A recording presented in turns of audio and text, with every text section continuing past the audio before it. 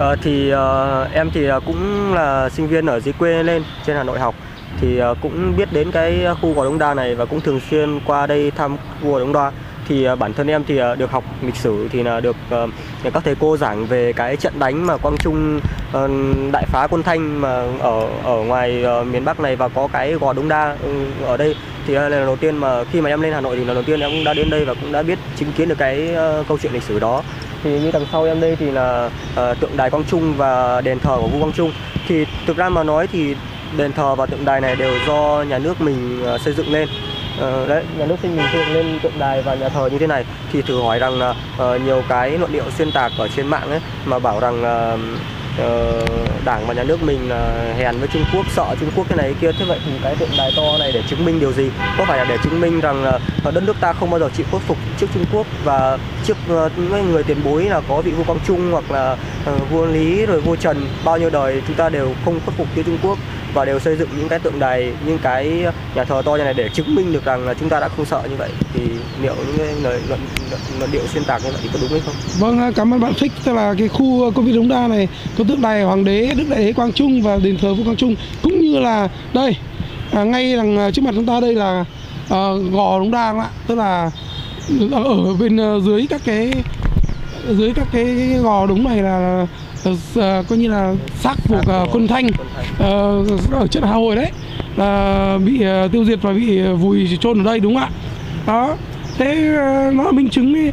ngay cái tượng đài Quang Trung đứng trình hình to rất là như này đây chứng tỏ là để khắc cốt là ghi uh, ơn. Cái Đúng rồi. đại đế đã phá và cũng để phá đe quân Thanh và và Trung Quốc giờ đấy. Mình cứ chả sợ gì sệt thì mà không không không không không, không dám tưởng niệm cả. Như là cái em cũng ờ, bổ sung thêm một tạc. cái ờ, luận điệu nữa. Là đây cũng là ờ, để cũng mang tính chất là để răn đe với lại Trung Quốc. Nhắc nhở Trung Quốc rằng là chúng mày đừng ờ, xâm chiếm nước ta một lần nữa. Nếu chúng mày xâm chiếm nước ta một lần nữa thì chúng mày sẽ gặp những người như vị vua Quang Trung đây. Vâng ờ, thưa các bác, thế ngày mai là 19 tháng 1 là ngày mà 74 lính Việt Nam Cộng Hòa ấy, à, tử trận ở Hoàng Sa năm 74 để mất đảo Hoàng Sa vào tay Trung Quốc. Thế thì theo kinh nghiệm hàng năm của anh em chúng ta là ngày đó thì cái đám dân chủ quậy bờ hồ ấy, nhóm No You ấy, nó hay tổ chức ra à, tượng đài Lý Tổ để nhằm à, với cái danh nghĩa là vinh danh đúng không nào? Thế thì à, các bác có suy nghĩ gì về cái, cái, cái gọi là vinh danh đó của cái đám dân chủ quậy bờ hồ? Bác Thi ạ, mời bác.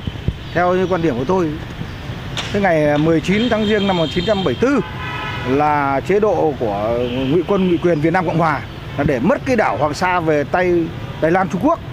Thì bây giờ hàng năm là bọn à, dân chủ cội và bọn bà que thường là cứ lấy cái ngày đó để chúng khiêu gợi lại cái nỗi đau của nhân dân Việt Nam nói chung là bà con ở phía bên kia, chuyến tuyến bên kia, tức là về với bà con của bên phía Việt Nam Cộng Hòa người ta cũng thương xót của những người mà cũng đã bị chết trong cái trận Hoàng Sa năm 1974 thì tôi thấy là bây giờ chúng nó cứ đưa ra những cái biểu ngữ rồi băng rôn rồi lôi kéo xúi dục nhân dân rồi, rồi à, như à, tay à, Vũ Quang Thuận lại còn cầm cả thánh giá ra đến chỗ tượng đài Lý Thái Tổ để chúng gây những cái xáo trộn hoặc là làm những cái động tác rất là là, là phản cảm để cho người dân chúng tôi rất là bức xúc.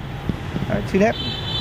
Vâng, thế bạn là Fix, ờ, mai bạn định ra tượng đài ờ, để ờ, mà thực ra thì năm nào cũng vào ngày này là em cũng nó thường là rơi vào ngày cuối tuần.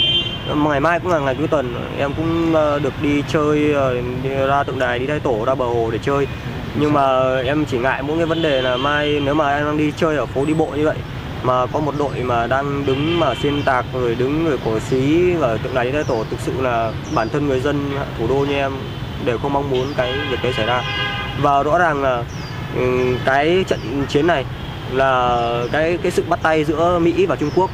Và Mỹ Mỹ thì lại điều khiển Việt Nam Cộng Hòa để cho ừ, chúng ta bị mất cái quần đảo Hoàng Sa đấy. Thì chúng rõ ràng cái này là mình nên đáng trách chứ không phải là để cổ suý để tiêm dương. Còn đối với những người mà đã tử trận thì mình chỉ có thể là ghi nhận thôi. Tức là đã, đã tử trận tại cái hoàng quần đảo Hoàng Sa đó thì mình chỉ có thể là ghi nhận thôi chứ còn bây giờ họ làm mất đảo thì mình phải trách họ chứ đúng không các bác thấy cháu bảo đúng không Đúng quá rồi. mình phải trách chuẩn luôn Trương Văn Dũng kiểu gì cũng có mặt nhỉ? vâng. Thế mai à, các bác có định ra về đó cùng anh em Việt Việt không? chúng tôi là người dân ở thủ đô này là thường thường là cuối tuần chúng tôi ra alo ra phố đi bộ đúng rồi cứ quét Ờ, đang đứng trong đây, đang Ái ngại là khi mà gặp những cái Ừ, thành trong phần đây. này đây đang quay đấy khi nhập gặp những thành phần này là chúng tôi không hề muốn nhưng mà bởi vì các vị đã ra đây chỉ là chỉ là làm trò trong, trong ngoại bang. Mình đang Nói xấu chế độ, nói xấu đảng. chơi đang giải trí mà chúng tôi gặp đâu là chúng tôi đánh nó thật. Tôi rất bức xúc. Không phải bây giờ mà từ 2014 cho đến bây giờ. Bây giờ gặp anh bên này.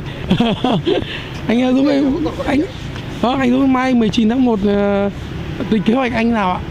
À, theo ờ, kế hoạch thì ờ, Ờ, tôi và một à, số anh em nữa. Ờ, từ trước đến giờ hai hai ba năm nay rồi thì những cái ngày nó nóng bỏng một chút. Những ngày mà ờ, bọn xã hội dân sự đều ấy mà. Bọn xã hội dân sự đều với cả bọn no u với cái thứ ấy, nó hay để cho ví dụ như là ra tượng đài đi lấy tổ biểu tình hay là những cái khu vực mà nó nhạy cảm. Là biểu tình thì bọn tôi sẽ có mặt và nếu mà chúng mà có những cái hành động mà uh, gây ờ, bất ổn à, hay là gây mất trật tự uh, xã hội hay là ấy thì bọn tôi sẽ ra tay. Ok anh.